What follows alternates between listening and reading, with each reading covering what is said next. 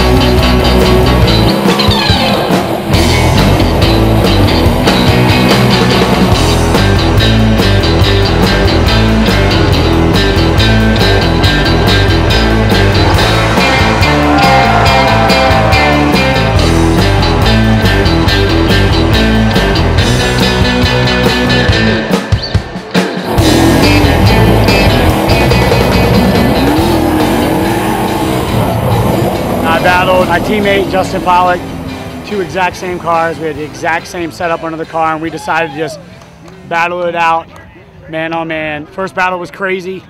Second battle, I ran a really solid, good, aggressive run. And uh, when I was chasing him, my spotter told me to get on his door.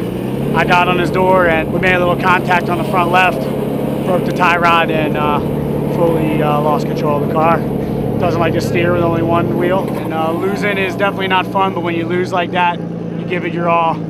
It's just like winning.